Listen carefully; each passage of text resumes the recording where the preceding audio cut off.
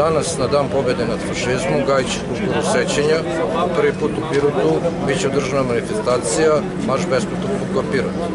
Sama manifestacija ima isključivo antiratni i antifašistički karakter i ne postoji nikakva politička poruka.